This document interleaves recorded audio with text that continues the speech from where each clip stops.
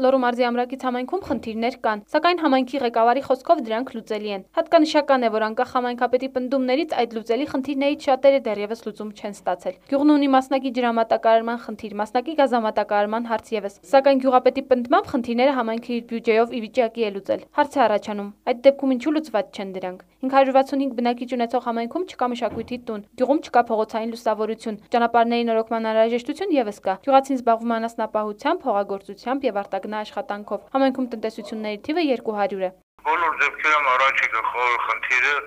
ասենք այն գյուղի կեսի ջրամատակարարման խնդիրն է, որ միշտ այդ հարցը բարձրացրել ենք մանեն կարե կախված ալորու ջրմուխ ծրագրերից, որ ասենք ինչքան շուտ իրականանալ իրանք կարողանան իրանք գործերն անեն, այնքան շուտ ջուր կունենանք։ դե ջրամատակարարման հարցն ենք համարը համարում, ասենք որտեղ ասենք ժոբ բնակիչ է վերևի մեղն ասենք ժողովուրդը տեսնում է ներքևի ժողովուրդը շուրջօրյա ջուր ունի ինքը չունի, այսինքն այդ մեծ խնդիրն է։ Դե ճանապարհները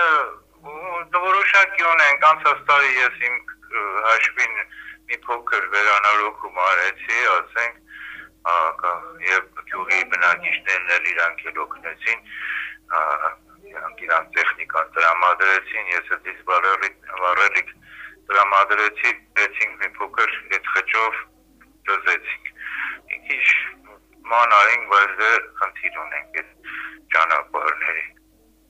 Նշենք նաև, որ համայնքում ոչ պակաս կարևոր խնդիր է Վանաձոր Ստեփանավան միջպետական ճանապարհի ամրակից գյուղի հատվածում գտնվող չորացած ծառը, որը ուժեղ քամիների դեպքում կարող է տապալվել եւ ունենալ անդառնալի հետևանքներ։ Ֆորտունա Լոռու մարզային հեռուստաընկերությունը բազմիցս ահազանգել է, սակայն համայնքապետարանը քայլեր չի ձեռնարկում հարցին լուծում տալու համար։ Ծառը շարունակում է չորանալ։ Մնում է մտածել, որ դա համայնքի խորհրդանիշն է եւ ձեռք տալ չի կարելի։